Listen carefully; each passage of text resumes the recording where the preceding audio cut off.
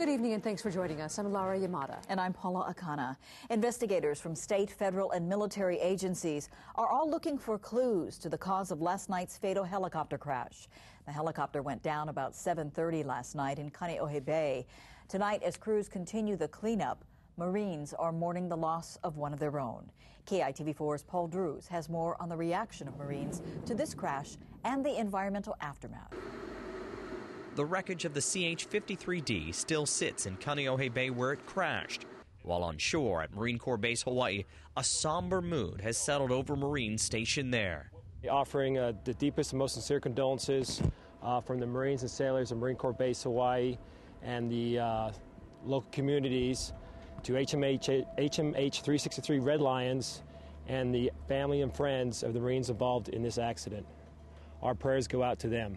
Marines I talk with say this crash has hit them hard, not only because it happened so unexpectedly, but also because it happened so close to home. Even Marines who did not know the Sea Stallion crew felt like they had lost a brother when the helicopter went down last night just before 7:30, killing one Marine and injuring 3 others. While the accident was unexpected, the Marines on board the helicopter trained for emergencies just like this. We all go do uh, training flights out in the area as far as simulate, simulating those emergencies. So it's something we train to all the time. So it's not something that any pilot or any crew is not prepared for. They are prepared for, for an incident like this.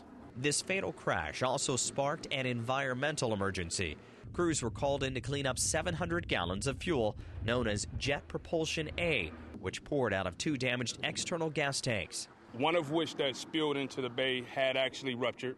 The other one was leaking, so we actually were able to contain that and remove the fuel. Throughout the day, there were reports of fuel odor on the bay's shores, but marine crews were not able to spot any leaked jet fuel. Winds, water, and sunlight helped to break up the volatile gas, and so far, there are no reports of the fuel damaging the marine ecosystem.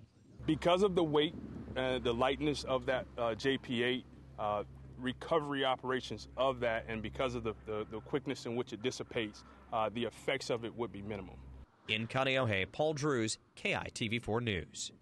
The three surviving Marines are recovering at the hospital with ankle and spinal injuries, which, according to Lieutenant Colonel Antonio, are injuries consistent with a hard landing.